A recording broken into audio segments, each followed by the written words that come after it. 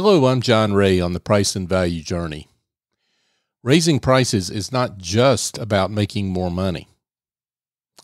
Occasionally, I run into people who, in a bad attempt at humor, tell me that I'm contributing to the inflation problem because of my encouragement to professional services firm owners to tend to their pricing. I also get a few who, in a backhanded way, accuse me of giving license to business owners to be quote unquote greedy that's a big load of buffalo bagels, folks, and that's as kind as I can be about it. What the uninformed don't realize, or sometimes they don't choose to understand, is that arguably the biggest challenge small business owners face, and particularly professional services providers who are pricing what's between their ears, is adequately pricing their product or service. Because of this struggle, the entire business suffers. Because of inadequate pricing, employees don't get the raises they should receive, leading to unnecessary turnover. The business itself doesn't get the cash flow needed for reinvestment to improve customer experience or add client benefits.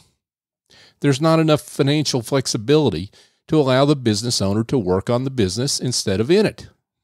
Maybe, most important, the business owner suffers personally they experience a high stress level, which untended leads to burnout, problems at home, and worse.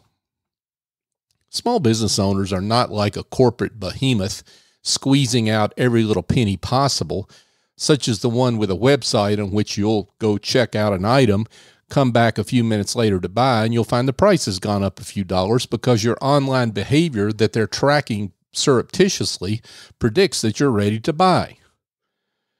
I talked to one of my clients recently about this subject. He said something that I love that one of the benefits of better pricing is that you fall in love with the business all over again. I just love that.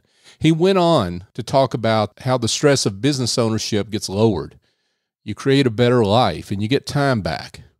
We talked about how time is a vanishing asset which can never be replaced. In reflecting on our conversation later, I also thought about giving back. Small business owners overall are extraordinarily generous. They come at life wanting to help people and solve their problems.